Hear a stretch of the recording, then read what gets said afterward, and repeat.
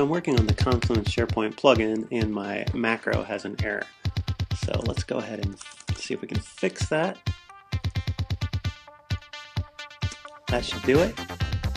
And now we need to rebuild the plugin, redeploy it to Confluence, and bounce Confluence. Let's see how long that takes.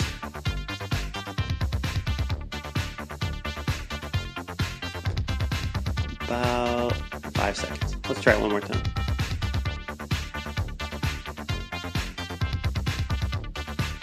So clearly we didn't have to do any of those things. With the Maven command line interface and the PDK, you can rebuild your plugin and it automatically redeploys it to, I believe, a new container in Confluence, all in a few seconds.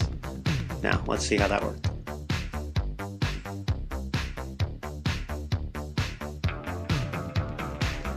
Yep, the change took, and now my content's displayed. Thanks for listening.